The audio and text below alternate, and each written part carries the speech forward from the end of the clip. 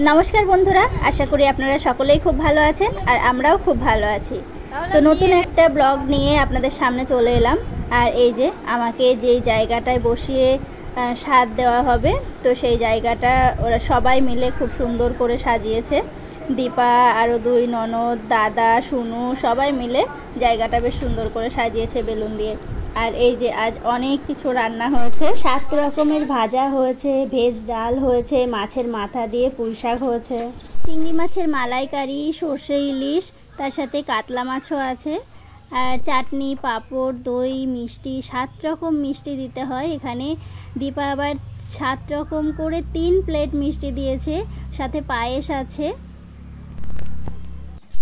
মাছের মাথা আছে, স্যালাড আছে সাত রকমের ফল আছে। তো মোটামুটি অনেক কিছু আছে। আর আজকের দিনটাতেই না কারেন্ট নেই। সকালের দিকটাতে কারেন্ট থাকলেও ওই যে বেশ কিছুক্ষণ হয়ে গেল। দু তিন ঘণ্টা হয়ে গেল কারেন্ট নেই। আর প্রচণ্ড গরম পড়ছে আজকে, প্রচণ্ড গরম। এত গরমের মধ্যে এখানে বসতেও ইচ্ছা করছে না, কিন্তু কিছু করার নেই। অনেক বেলা হয়ে গেছে, আর আমি সকাল থেকে না খেয়ে আছি। তো সেই জন্য তারা দিচ্ছে সবাই বসো বসো। তো কিছু করার নেই, কখন কারেন্ট আসবে ঠিক নেই।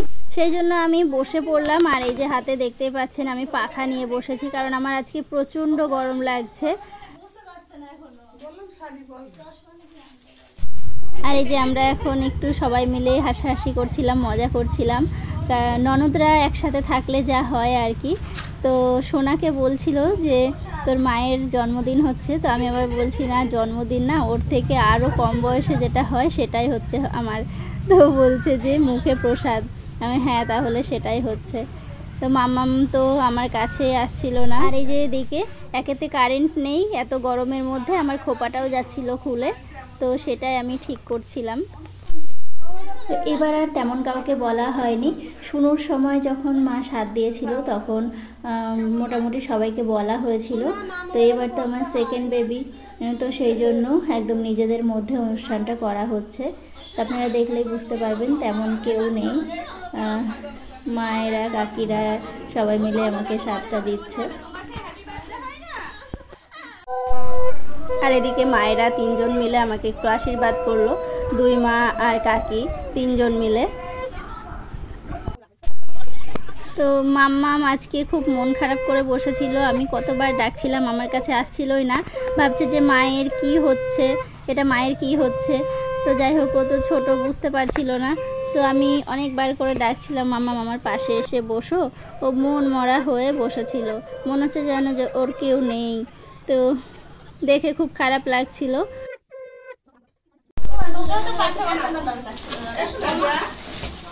যা শোনা তুই ওই ছবিটা তোল আর দাদা বসুক। শোনা রে। এটা কি? এটা কি?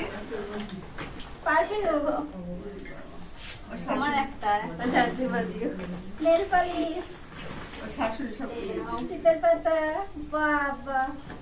গার্ডার গাড়াটা তো দারুণ এটা হচ্ছে দাদার। ওকে ছুড়ে দে। আলতা সিঁদুর বস। ডাব যা ওই পাশে গিয়ে বস ওখানে। এটা আমার কাছে দিয়েছে আমি এখন করেও নেব। এ দে অংশদানা বৌদি ওদিকে বসে বৌদি। ফটো তুলে একটু। আর এদিকে আমরা দুজন ফটো তোলার জন্য স্ট্যাচু হয়ে বসেছিলাম। আর আমার পাশে যে আছে সে হলো সম্পর্কে আমার যা হয় দেওরের বউ। তো আমরা দুজন চুপ করে বসেছিলাম। স্মাইল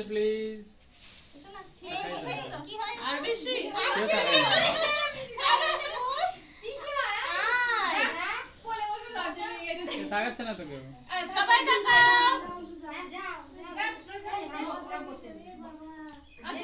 এই আরে, মানে টাকা বলে মুড সব চেঞ্জ হয়েছে। আর এই সময় আমাদের ক্যামেরাম্যান ছিল দাদা। তো দাদা আবার এর মধ্যে বলছে যে মেয়েরা নাকি সামনে ক্যামেরা দেখলেই মুখে হাসি চলে আসে। তো সেই শুনে তো হাসাহাসি হচ্ছিল। তো এদিকে আমরা তিনজন একটু ফটো তুলছিলাম। দুই ননদ আর আমি। আর এই যে এদিকে দেখুন অনেক কষ্টে মাম্মামকে আমার পাশে পেয়েছি।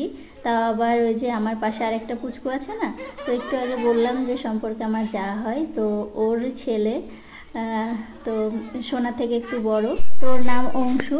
তো অংশু বসেছে তো সেই জন্য মাম্মাম এসে আমার পাশে বসল। ওই যে অংশু দাদা বসেছে আমিও বসবো। তাহলে কি করে জ্বলবে এই যে এখন আমি আর দীপা কয়েকটা ফটো তুলছি। আর এখন আমার খাওয়ার পালা। অনেক ফটো তোলাতুলি হয়েছে, এখন খেতে হবে। আর এত কিছু দেখে তো আমি বুঝতেই পারছিলাম না যে কোনটা থেকে শুরু করব আর কোনটা দিয়ে শেষ করব। এই সমস্ত কিছু নাকি আমাকে খেতে হবে। একটু করে হলেও সমস্তটার থেকে একটু একটু করে হলেও আমাকে খেতে হবে। তো প্রথমে সাত রকম ভাজা দিয়ে আমি শুরু করেছিলাম। আর ওই যে পাশে বসে আমার যা ও হাওয়া করছিল তো সব রকম খাবারের থেকে একটু একটু করে নিয়ে আমি খেয়েছিলাম। তারপর এখন, ওখানে আর আমি বসে থাকতে পারিনি। এরকম নিচে বসে খেতে একটু অসুবিধাই হচ্ছিল। তারপর আমি উঠে গিয়েছিলাম। আর দীপা আমার সব খাবারগুলো টেবিলে দিয়ে দিয়েছিল। তো তারপর আমি চেয়ারে বসে খেয়েছিলাম।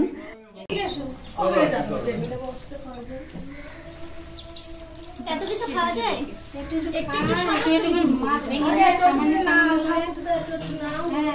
তারপরে তুমি যা দিয়ে মন চাই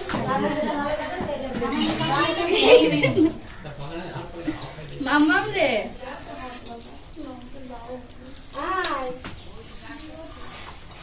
এই পুরোটা পুরোটা মুখে ধরো। দাঁড়াও দাঁড়াও দাঁড়াও।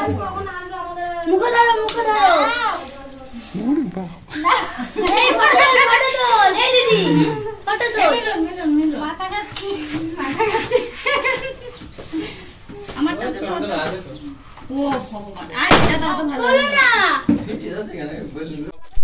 আর আমি তিনবার খাওয়ার পর তিনবার একটু মুখে নিয়ে তারপর অংশুকে তিনবার খাইয়ে দিয়েছিলাম। আর- এই যে এইসবের মধ্যে না, মামামেরও খিদে পেয়ে গেছিল। তো সেই জন্য মামামকেও একটু খাইয়ে দিলাম তারপরে কি আছে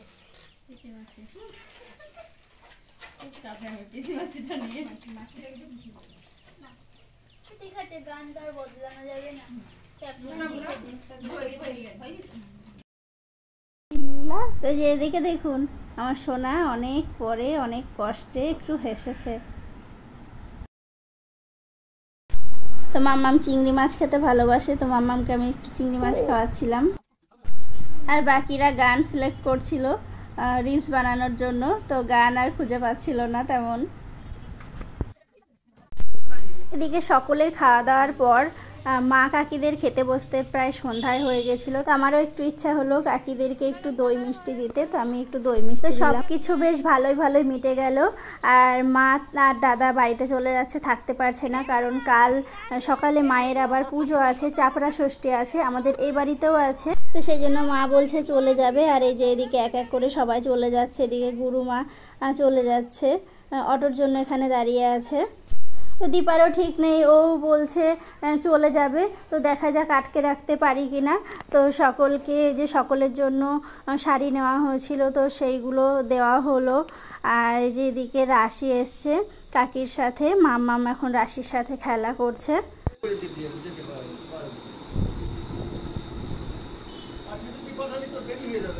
মিলন আমি মিলনকে খুঁজে পাচ্ছিলাম না। মিলন, খুঁজে পাচ্ছিলাম না। দেখা হবে না তো আমার সঙ্গে। খবর কলকাতা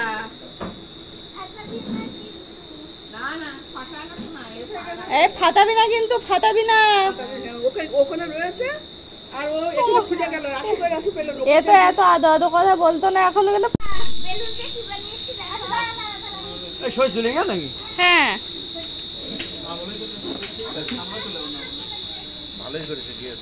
ওই যে অটোটা বেরিয়ে গেল। চাবি তোমার কাছে?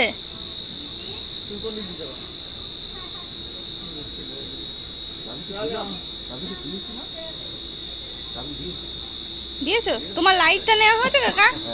আচ্ছা আচ্ছা। তাহলে ঠিক আছে।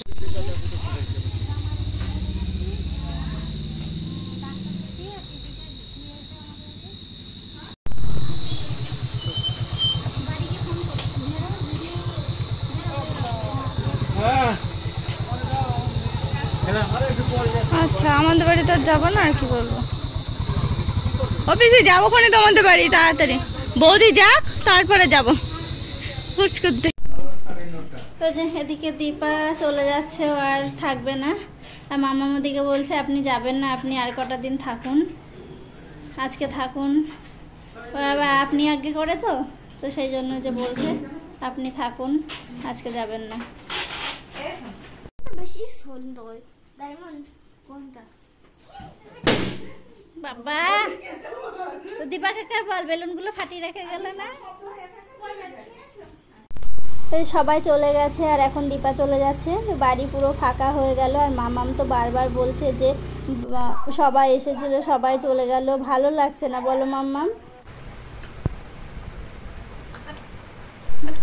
আর এখন এই যে চলে এলাম একটু ঠাকুর ঘরে। গোপুর শোয়ার টাইম হয়ে গেছে। মায়ের তো সন্ধ্যা দেওয়া পুজো দেওয়া সব হয়ে গেছে। গপুকে শয়ানে দিয়ে দিল। এবার গপু চলে যাবে অন্য ঘরে। তো আজকের ভিডিও আমি এখানেই শেষ করছি। ভিডিওটি কেমন লাগল জানাতে ভুলবেন না। আর আপনারা সবাই ভালো থাকবেন সুস্থ থাকবেন এবং সাবধানে থাকবেন।